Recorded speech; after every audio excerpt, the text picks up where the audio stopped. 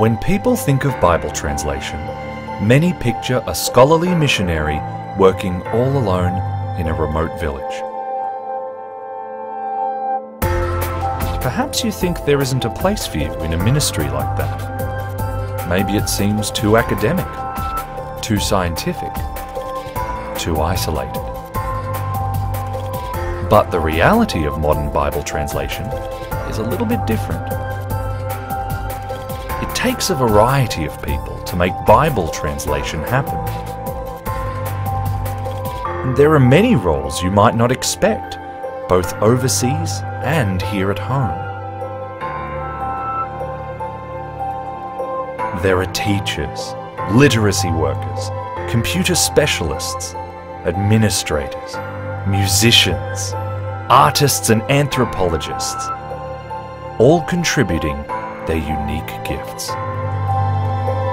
There are pilots, nurses, language surveyors, mechanics and accountants, journalists, carpenters, communicators, photographers, and so many more.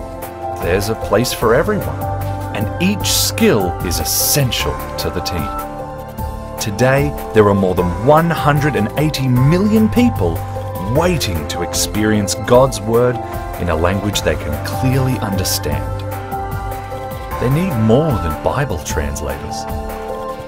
They need teams. And those teams need you.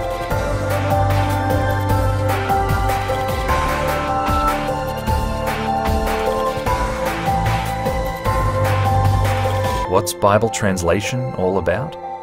It's about working together to reach people with the news that God loves them. You just have to be willing to let God use you just the way He created you. There is a place for you in Bible translation.